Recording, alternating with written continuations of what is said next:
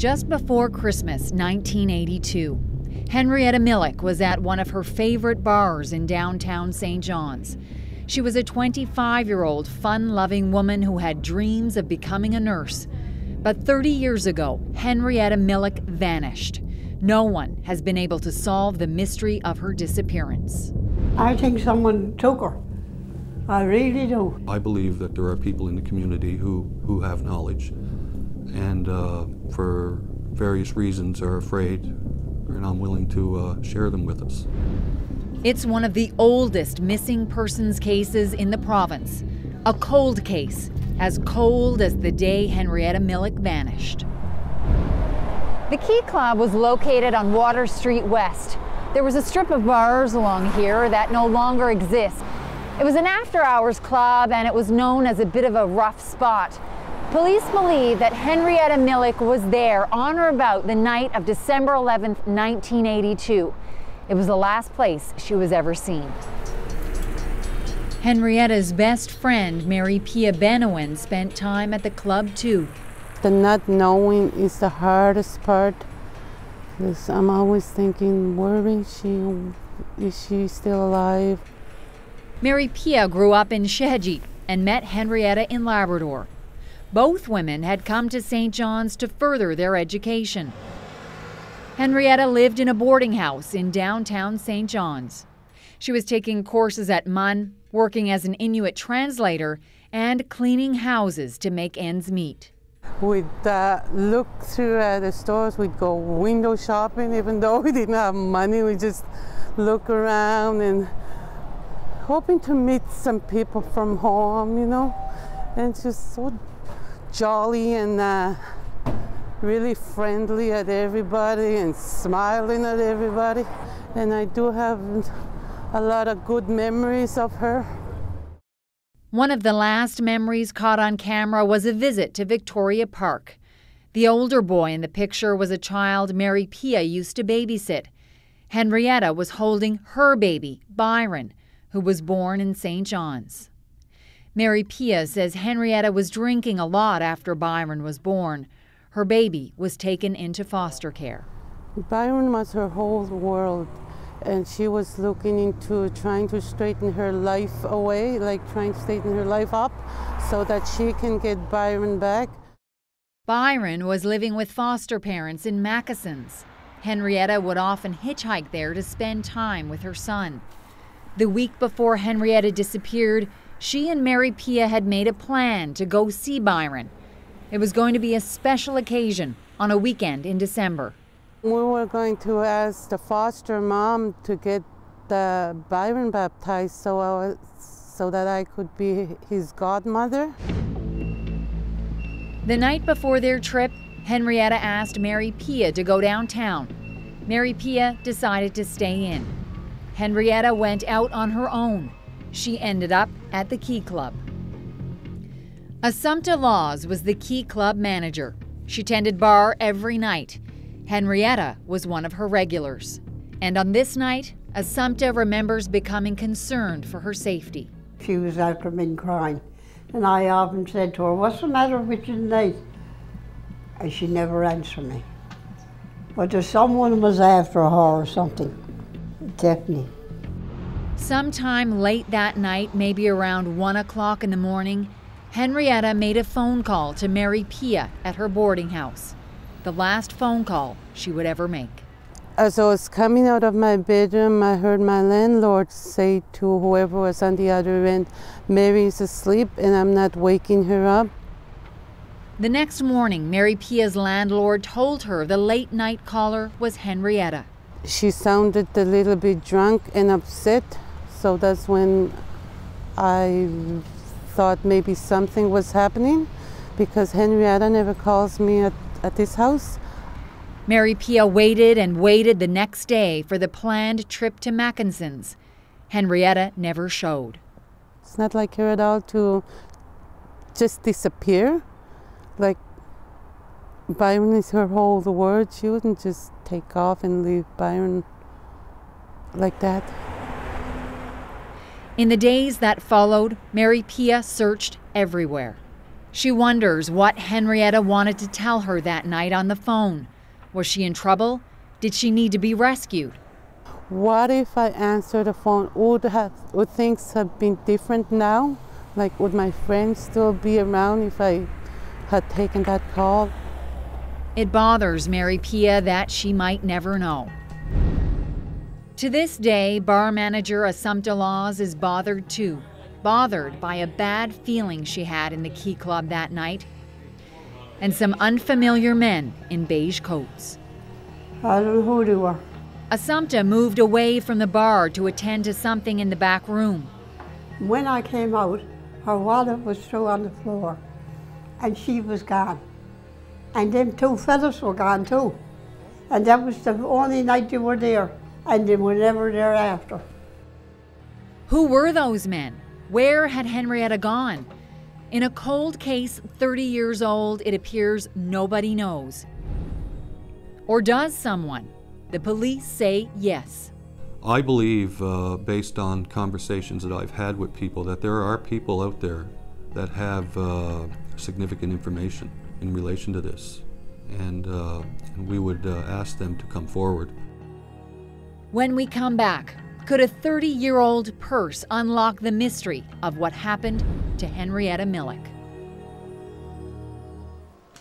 Assumpta Law's health isn't good today, and she admits her memory isn't as sharp as it used to be. But Assumpta remembers Henrietta Millek well. She was tending bar the night she went missing. 30 years later, some of the details are vague, but she does remember a bad feeling she had about some strange men in the bar that night. They had beige jackets on the two But what he looks like, I can't tell you. Because it's so long ago, I'm after forgetting, like, you know. Other customers at the Key Club that night told police they noticed the men too. We've learned that she was there that night and was having some problems with some men, um, probably three men at a table.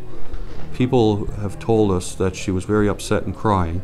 She had approached staff at the bar who comforted her. When I went in the bathroom, her purse showed up.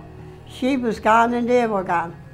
And it put me in mind of as if they took off with her. I, I don't know. Police can't say for certain exactly what night Henrietta Millek was last seen at the Key Club.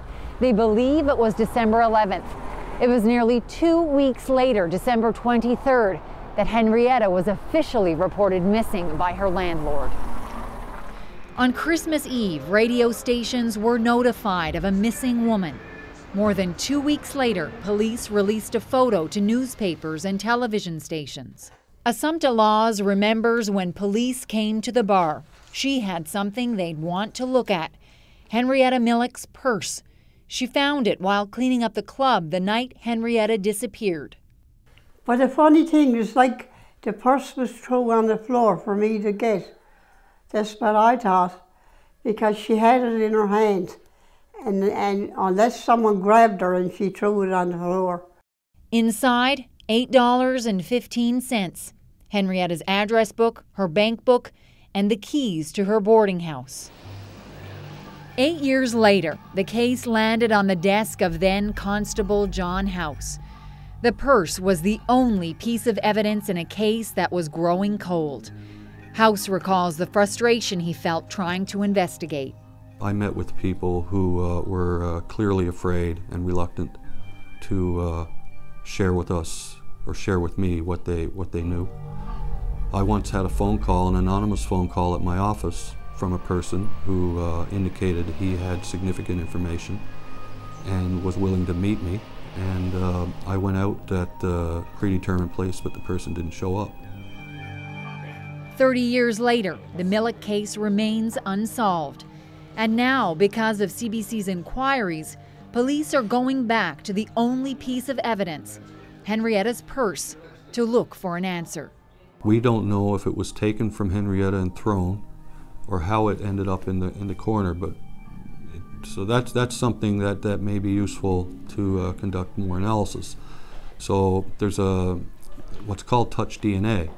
So a very uh, cursory uh, contact with an exhibit, a casual touch or even grabbing it and, uh, and holding it, may conceivably have left uh, cells belonging to the person. That analysis could take months. Without a clue from the purse, police are back where they started. A cold case that gets colder with every passing year. In Nain, Henrietta Millek's family now believes she is dead. Verona Itulak is Henrietta's mother. I cry when I am alone, mourning for her. I will always mourn my wonderful daughter. I will always mourn for her. All that's left are memories of her cheerful voice and bright smile. She enjoyed school. She enjoyed it very much. But while she was training to be a nurse, she also wanted to train to be a doctor. Verona says Henrietta left Nain to pursue her dream of nursing. It meant leaving her young son Chesley when he was the same age his own son is now. When he was five, he was told his mother had disappeared.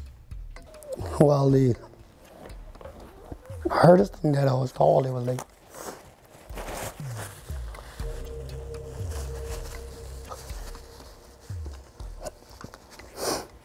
that your that your mother is probably not going to come back, and you're probably not going to have no mother rest of your life, maybe.